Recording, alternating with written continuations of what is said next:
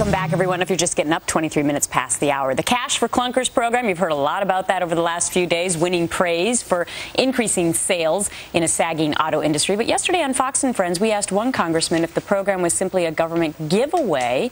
Here's what he had to say.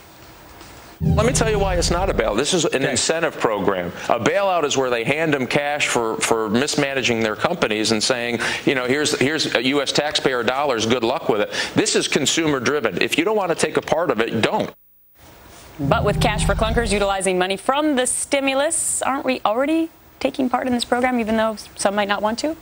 It's an interesting question. Absolutely. Our guest this morning is Jeff Miron. He's the Director of Undergraduate Studies in the Department of Economics at Harvard University. He's also a Senior Fellow with the Cato Institute. He joins us from Boston today. Good morning, Professor. Good morning. So you find this to be a distasteful use of public money. We shouldn't be spending cash for clunkers. Absolutely not. On the one hand, the environmental benefits, I think, are being greatly oversold because mainly what we're seeing is a shifting of when cars are purchased from three months or six months from now to the present to take advantage of this temporary discount. On the other hand, as stimulus, it's incredibly crazy because the money for these clunker, for these new cars doesn't come from nowhere. It comes from taxpayers. So we're picking a winner and loser. This is just a backhanded way of bailing out the auto industry further, um, dressed up to be environmental environmental policy, but it's not convincing environmental policy at all. Ironically, it may be helping dealers in the short run, Professor, but really not in the long run. I mean, they have to go through tremendous amount of paperwork to try and even just get one of these deals approved. And by my research that I've done, hardly any of them so far have been approved. So do you believe that these dealers will actually get paid back by the government $4,500 a car?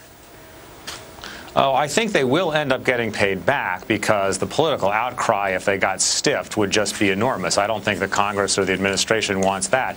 But you're absolutely right. It's a very complicated, messy way to try to accomplish these goals. A whole new program had to be created. A website crashed. There's this huge uncertainty about whether the program was going to end last Friday, today, tomorrow, whether it will be extended. So it's just lots of bureaucracy on top of uh, that, that's unnecessary. If people really believed in these goals, there are much better ways to accomplish the goals that they've stated. But, Professor, in terms of goals, I mean, we should make it clear.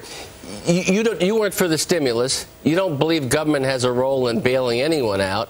You're for the legalization of all drugs in the United States, not just marijuana, but all drugs. I mean, you think the government should have right. hands off everything. So this is just part and parcel of that, right?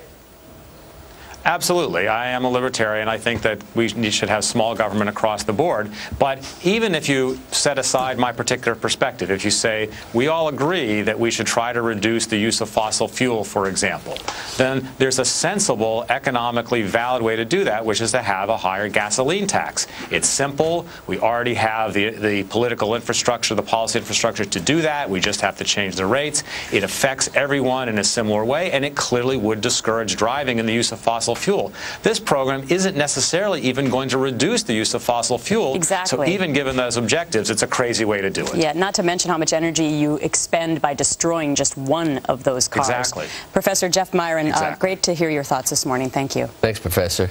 Thank you.